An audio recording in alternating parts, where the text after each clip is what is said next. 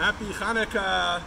Uh, we are here outside the menorah at Chabad, and I have been informed that if you are going to make a Hanukkah raffle, you have to have a Hanukkah bucket. So we have a Hanukkah bucket. Um, and inside this Hanukkah bucket are over 200 photos. We had about 25 to 35 submissions each night. Let me show you some of them. This is from the third night. Um, this is from the second night.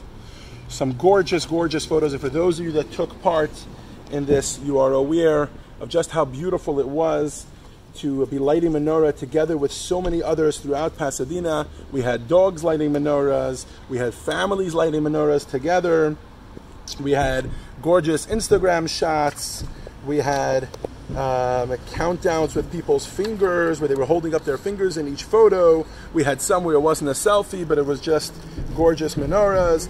Thank you so much to everyone, everyone who participated. Now, I can't go through all 200 photos here, uh, but before we uh, do the, uh, the, the raffle drawing, I just wanted to share a quick thought.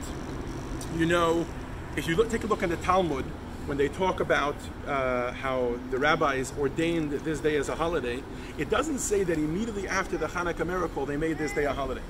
It says that Lishana Haba, the next year, they ordained this day as a holiday. Isn't that interesting? Why wouldn't they make it a holiday right away?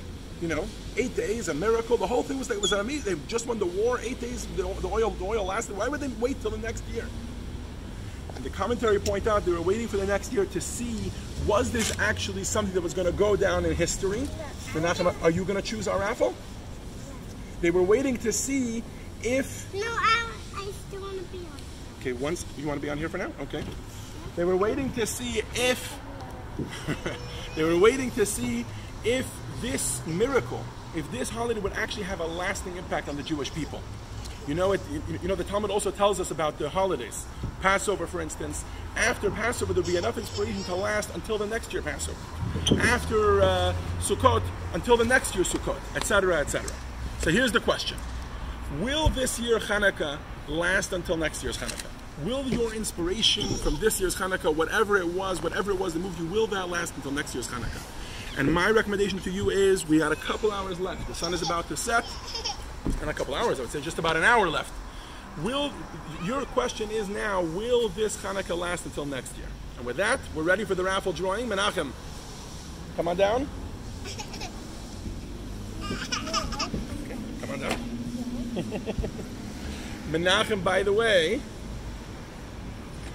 is he's holding the Hanukkah bucket and he's wearing, can you show everybody what you're wearing?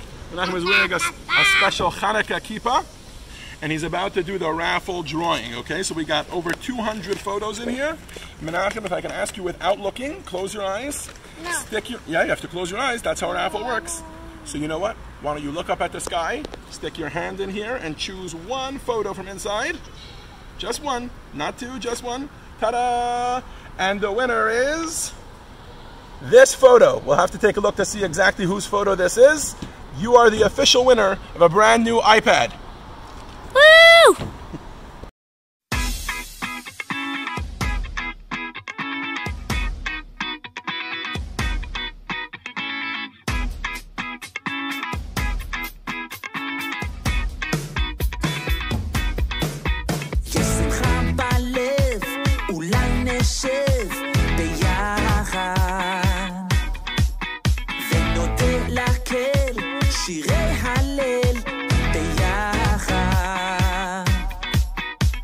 Now, please